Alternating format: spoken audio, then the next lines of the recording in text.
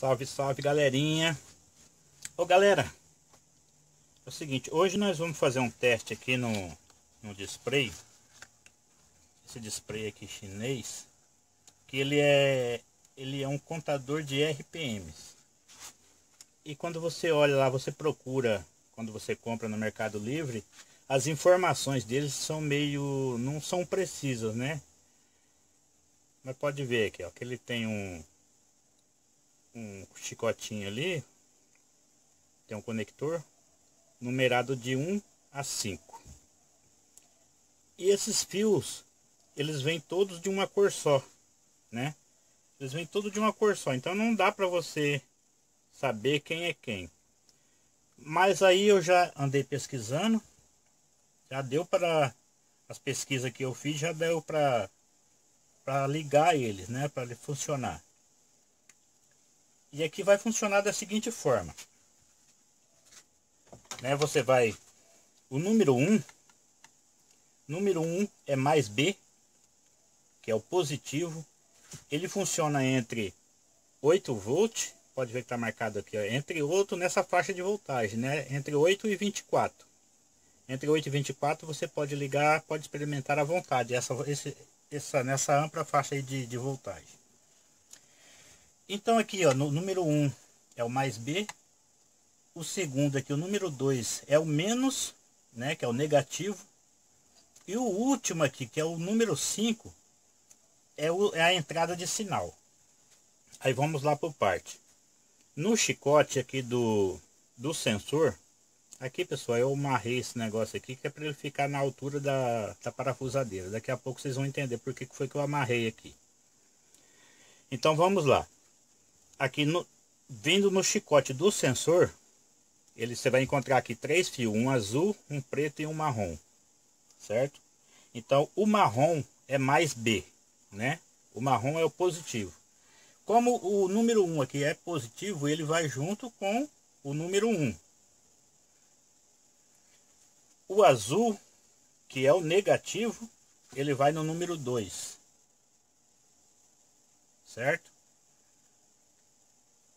E o preto, o preto do sensor é que vai na entrada de sinal, que é o último fio aqui, ó, o número 5. É onde vai entrar o sinal do contador. Aqui, ó, como eu já deixei dois fiozinhos, um preto e um vermelho aqui separado, que é para a gente não não se não se perder, né? Então eu uso aqui o vermelho ligado junto com o número 1 e com o marrom do sensor. Deixa eu dar uma, uma isoladinha aqui só para não causar acidente. E o fio preto, o fio preto da alimentação junto com o azul e o número 2 aqui do display.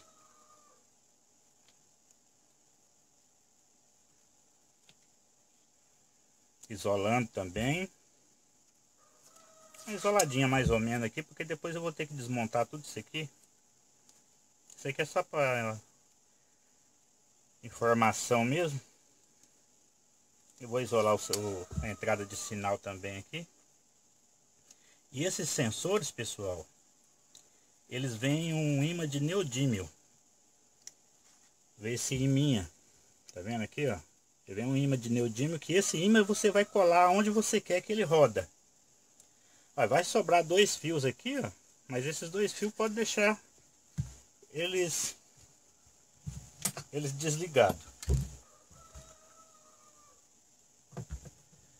Agora aqui, pessoal, ó, eu vou experimentar na minha furadeira, que a minha furadeira ela tem uma um controle de velocidade eu vou colocar um pouquinho de cola instantânea aqui para colar o, o imã.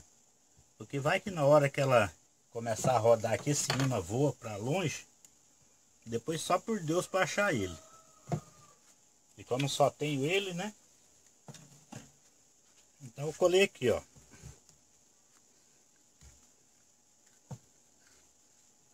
Deixa eu deixar ele aqui mais ou menos aqui para vocês ver Agora eu vou alimentar aqui ó, fio vermelho e preto, eu vou alimentar com 12 volts aqui da minha fonte.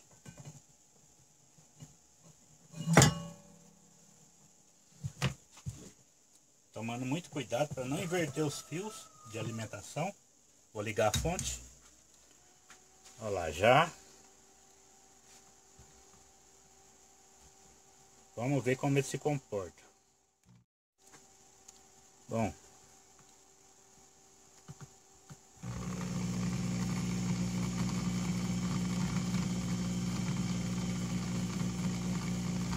Deixa eu aumentar, vamos aumentando gradativamente para ele ir contando.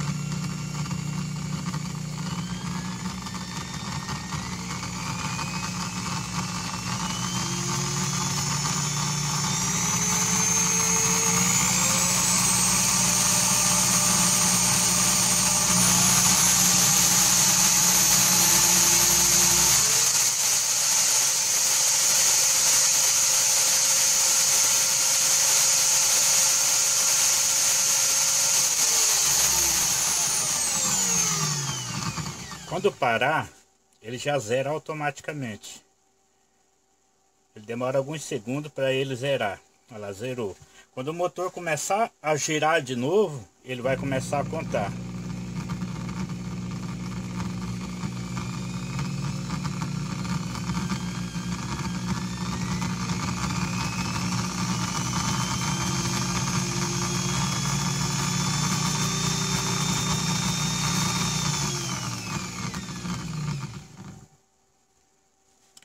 Dar um tempo de alguns segundinhos, ele, aí o display vai zerar automaticamente. Beleza, pessoal? Então é isso aí.